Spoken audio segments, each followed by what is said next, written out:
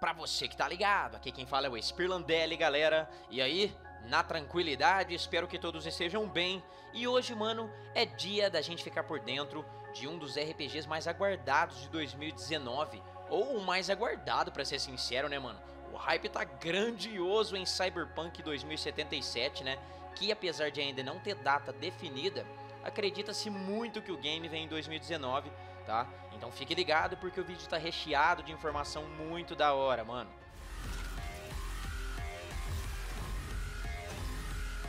No Cyberpunk 2077, os jogadores vão poder customizar sua própria visão do protagonista central, que a gente sabe que é o Vi, tá? Ou a Vi do jeito que você quiser. Além das opções masculinas e femininas, como eu tenho falado agora, a gente tem aí é, a disponibilidade né, de escolher origem étnica, tá? E opções estilísticas também, incluindo aí tatuagens, tá ligado? Cor de cabelo. A gente vai poder também selecionar um particular aí plano de fundo para nossa versão do personagem, tá pessoal? Alguns desses históricos vão incluir aí é, um recém-chegado ao Night City, né? Ou então um residente de longa data, todos os quais aí vão adicionar mais sabor ao nosso personagem.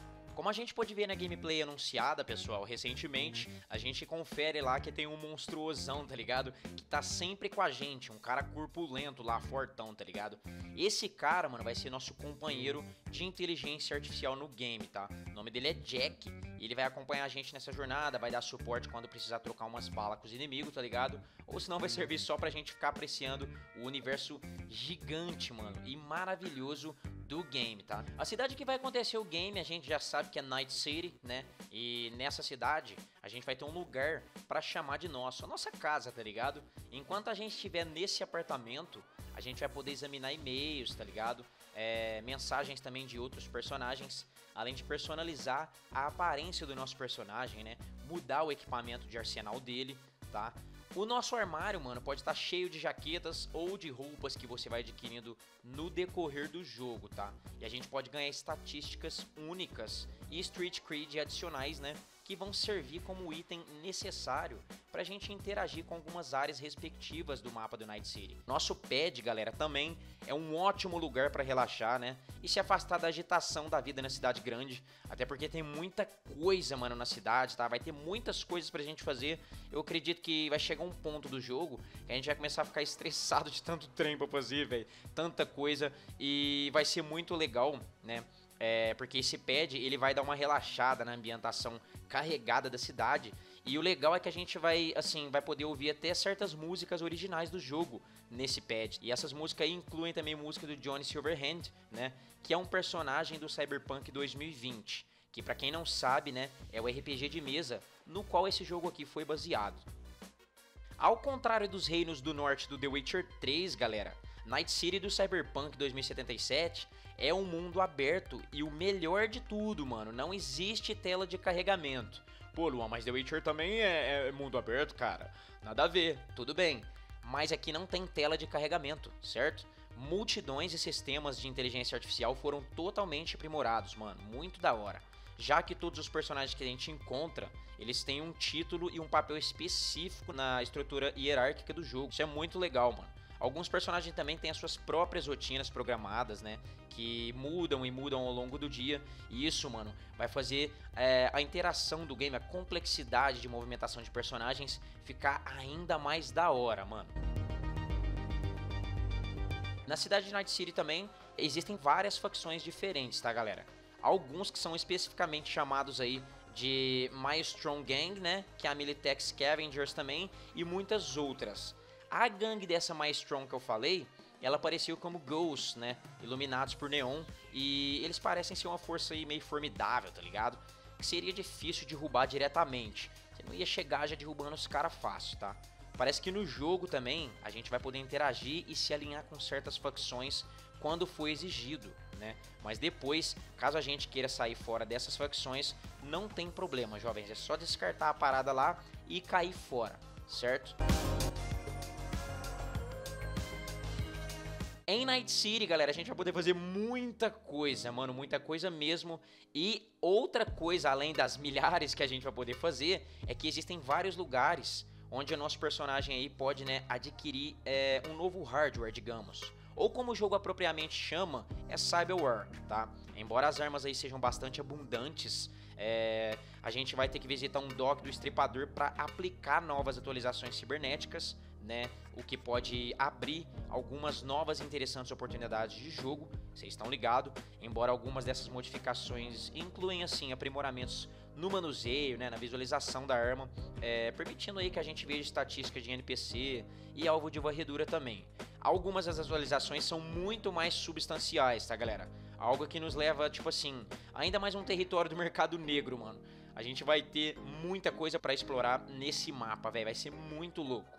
Considerando o que eu falei, que é o quão grande é a cidade de Night City, a gente vai precisar de uma maneira confiável de se locomover, tá? É, enquanto a gente começa tendo acesso ao carro do Jack, né? É um veículo esportivo é, de alta velocidade, por incrível que pareça, é, e tem um manuseio muito bom também. A gente também pode encontrar outros veículos para dar uma volta, tá, galera? E o mais bacana disso é que não são só veículos. A gente vai ter acesso a umas motos muito monstra, mano, muito veloz também. Eu não sei muito sobre essas bikes ainda, mas em breve eu vou procurar saber algumas informações sobre veículos e coisas que a gente vai poder usar no game e daí eu compartilho com vocês também, tá, pessoal? Como já é esperado de um RPG, há repercussões aí para nossas ações, tá? No Cyberpunk 2077, isso aparece nas decisões que a gente faz na narrativa do jogo, né? Mas elas também podem se manifestar como encontros aleatórios no mundo aberto, certo? Por exemplo, mano, os catadores que Vi e Jack mexeram no começo da revelação voltarão, né, para combater é, os personagens em uma perseguição aí de alta velocidade, digamos, tá ligado? A gente também vai poder invadir inimigos, né, e conectar a rede interna da base deles, né? Quando a gente coloca um backdoor no sistema, a gente pode invadir armas inimigas também e outros dispositivos, tá?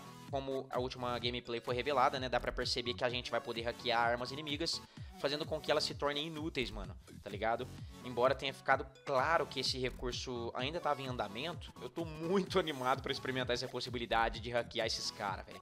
Nossa, vai ser muito louco, mano. É claro que, obviamente, a gente vai poder invadir sistema inimigo, né? Mas eles também podem invadir os nossos sistemas, jovens. Na revelação da gameplay, a gente percebe que um agente corporativo invadiu a cabeça da Vi, né? Pra ver se ela tava mentindo, mano. E isso proporcionou aí uma camada extra de tensão nas escolhas de diálogo do jogo.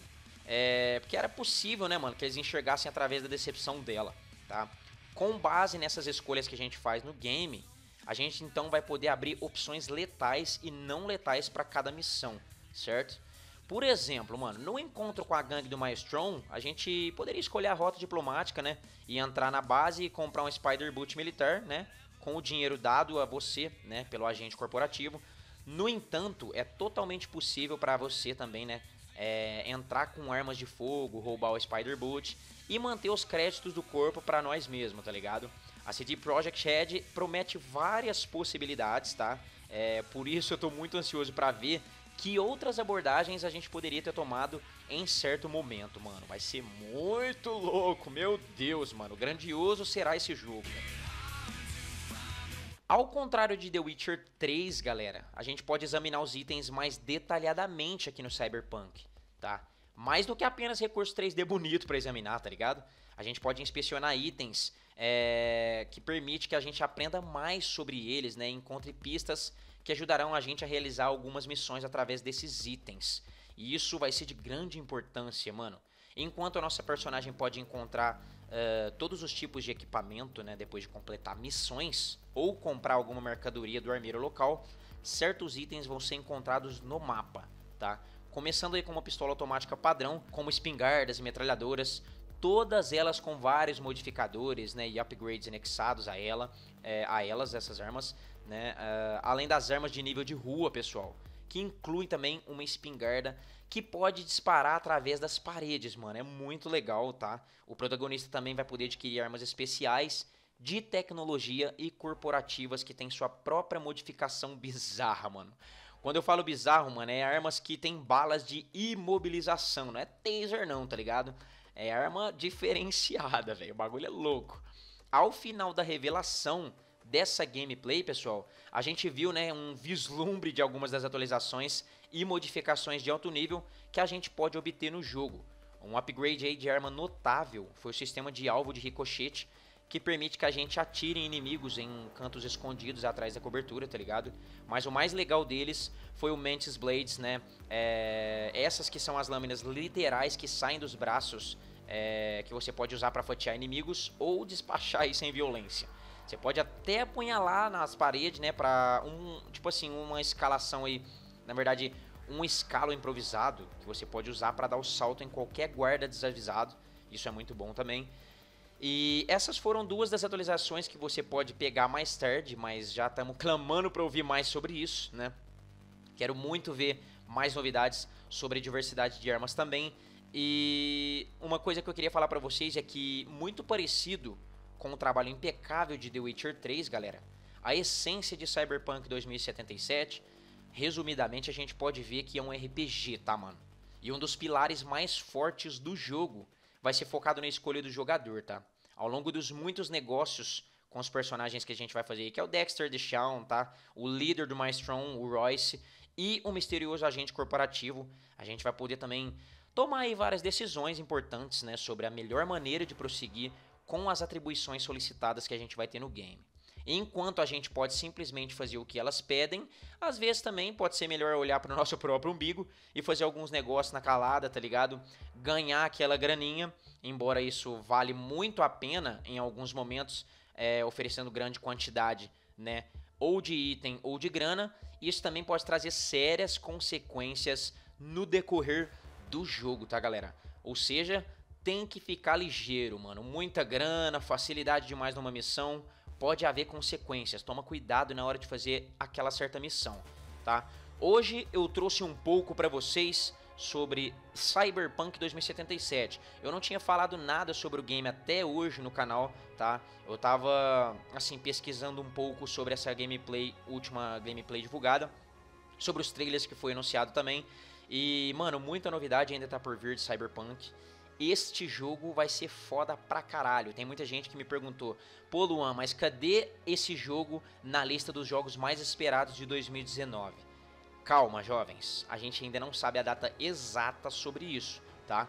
Mas lembrando também que em janeiro, tá? No comecinho de janeiro, eu vou preparar uma lista com os jogos mais esperados de 2019, parte 2 aí, né, pra gente ficar antenado sobre a parada, tá? Tem muita coisa da hora que vai sair, muitas novidades. Vocês viram, mano, que a data é a data de lançamento do, do The Last of Us 2, ela foi vazada. Muita gente não acredita nisso, mas mano, é muito óbvio, tá ligado? A Amazon postou recentemente o lançamento do game, né, pro dia 29 de março de 2019. Ele tá uh, publicado lá no valor de 79 euros. Eu acho, mano, eu acho muito estranho eles publicar é, tentando vender o produto sem ter o produto, tá ligado? Isso aí dá, dá até problema para eles, propaganda enganosa, tá ligado? E mano, a Amazon ela é muito boa nessa questão de divulgação de jogos. Tanto que eles divulgaram God of War também, né? É, eles divulgaram God of War para ser lançado no dia 24, sendo que God of War veio dia 20, tá? Isso é muito bom, cara. Isso é muito bom mesmo, dá pra gente confiar ainda mais nessa notícia. Eu espero que vocês tenham gostado de tudo que eu disse aqui sobre Cyberpunk. A gente conheceu um pouquinho do universo do game, sobre algumas coisas que a gente vai poder, outras coisas que não vamos poder também. Em breve eu trago mais é, novidades sobre o game para vocês. E eu espero que vocês tenham gostado desse vídeo. Se você gostou, não esquece daquele like que fortalece muito o crescimento do canal, que vocês estão ligados, tá? Se você não é inscrito aqui no canal, se inscreve aí, jovem, dá aquela força pro canal, compartilha esse vídeo com seu amigo, vamos ajudar o crescimento do canal rumo a 6k de inscritos. O canal só depende de todos vocês, tá? Muito obrigado pros mais de 5 mil inscritos, mais uma vez. Tô preparando um vídeo de 5 mil inscritos. Mano, tá, o bagulho tá intenso aqui, velho, tá? Muito obrigado mesmo. Então é isso, espero que vocês tenham gostado. Um grande abraço a todos, tudo de bom sempre, galera, e até o próximo vídeo.